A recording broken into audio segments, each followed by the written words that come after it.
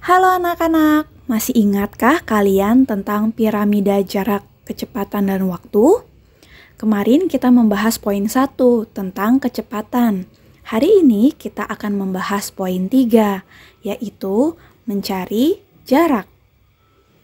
Sebelumnya kita akan membahas tentang waktu dulu ya, tentang perubahan dari jam, menit, ke detik. Yuk kita baca soal berikut ini.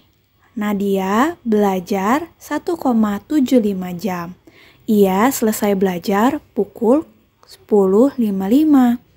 Pukul berapa Nadia mulai belajar? Nah, yang bisa kita lihat di sini 1,75 jam kita harus ubah dulu jadi berapa jam dan berapa menit.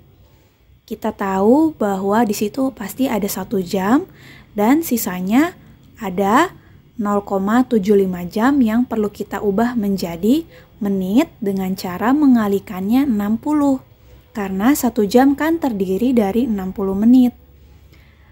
Nah, 0,75 dikali 60, ya betul, 45 menit. Jadi, kita dapatkan 1,75 jam sama dengan 1 jam 45 menit. Nah, kalau sudah ketemu 1,75 jam sama dengan 1 jam 45 menit, maka anak-anak bisa melakukan penjumlahan ke bawah. Nadia selesai belajar pukul 10.55. Dapat kita tuliskan 10 jam 55 menit. Lalu kita tuliskan 1 jam 45 menit, yaitu durasi Nadia belajar.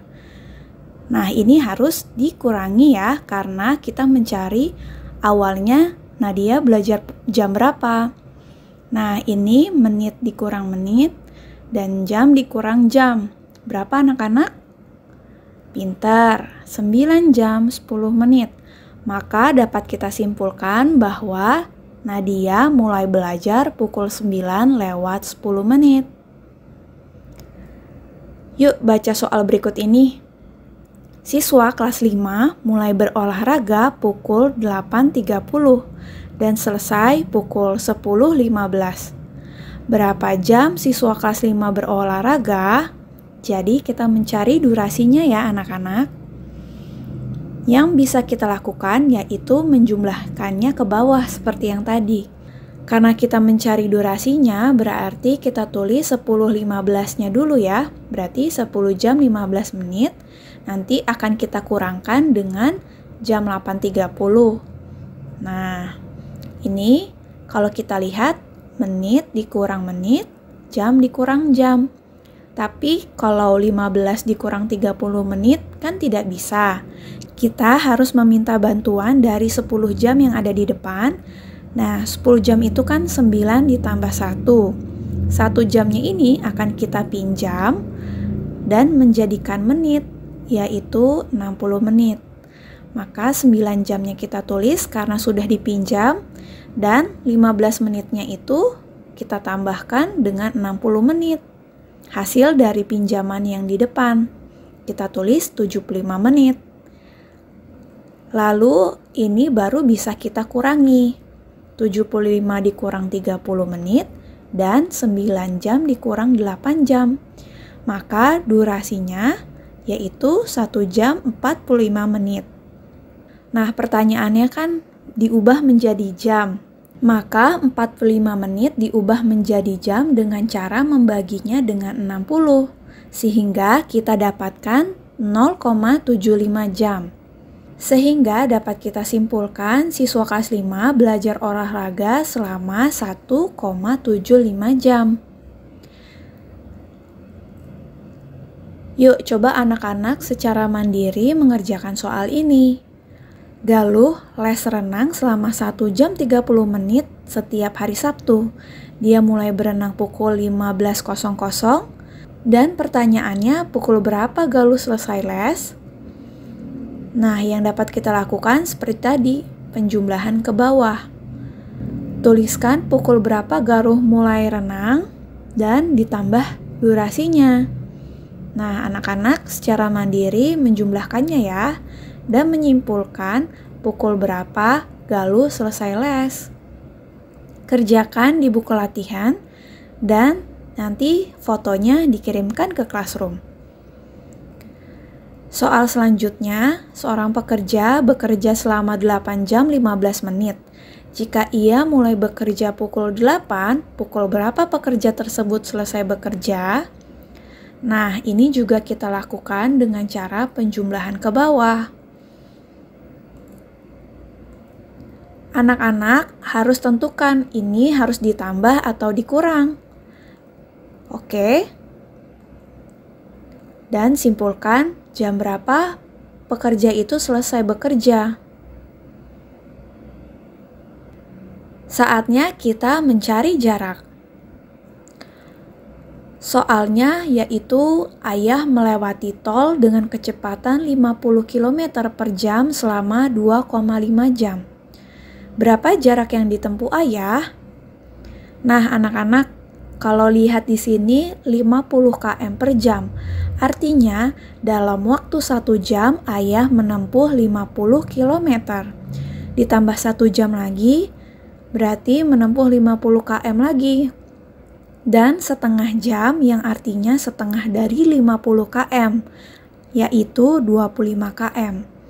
Maka didapatkan jarak yang ditempuh ayah, yaitu 50 tambah 50 ditambah 25.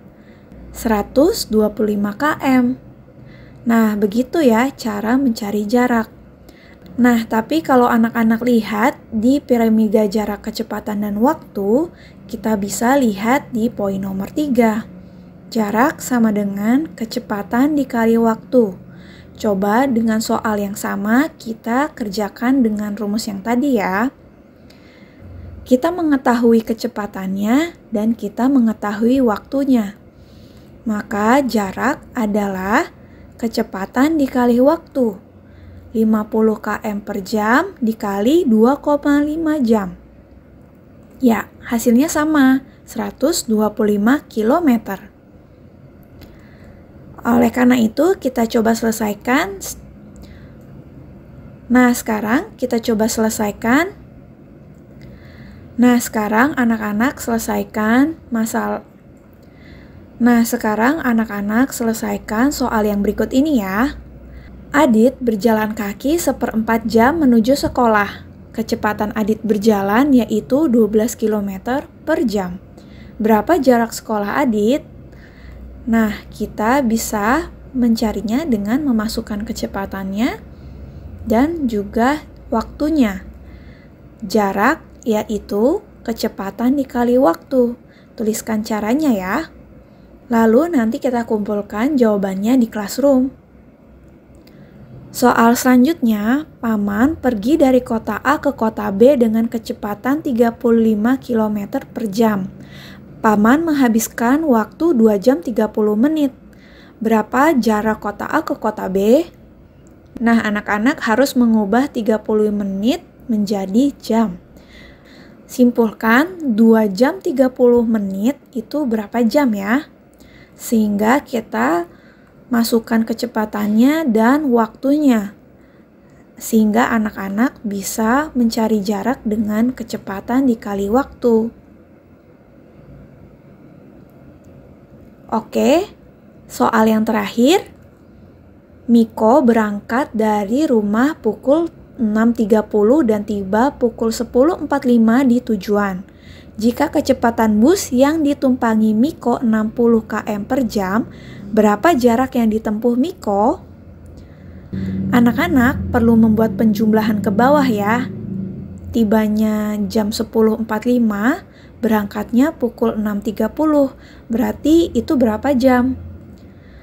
Nah, sehingga kalian uh, tuliskan kecepatannya dan waktunya di segitiga ini dan kalian akan menemukan jarak dengan cara kecepatan dikali waktu.